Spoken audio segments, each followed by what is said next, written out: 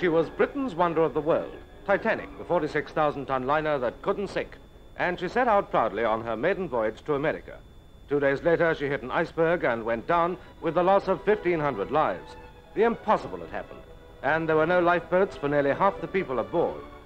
Now, 46 years later, new light is thrown on the disaster in a film which had a glittering premiere in London. Mr. Selwyn Lloyd, the Foreign Secretary, was among the distinguished guests. Mr. John Davis, Managing Director of the Rank Organization, arrived with Mrs. Davis. And strange coincidence, an iceberg had been reported in the shipping lanes again just a few hours earlier. Here's star of the film, Kenneth More. He plays Second Officer Lightoller. Hello, Ken. Hello, Peter. Congratulations on your new job. Oh, thanks very much. I read about it today. Congratulations to you on your film. Thank you. Enjoy making it? Very much indeed. And isn't it a funny thing today in the paper, iceberg in the channel, and they said this could never happen again. Well, it did, didn't it? Well, there you are. It's fate.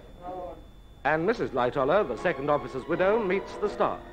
Ten survivors of the disaster were there to relive a night they'll always remember. Among them, Mr. and Mrs. Daniels, Mrs. Dutton, and Mr. Beesley after he'd seen the film. I thought he was most extraordinary. I, I had no idea that um, the realism could be produced in such a wonderful fashion. Mr. Alfred Pugh was one of Titanic's stewards. In those days, we did not have the facilities that we have today, such as ice patrols, radar, radio, and things like that, which would help him straight away in the event of a disaster.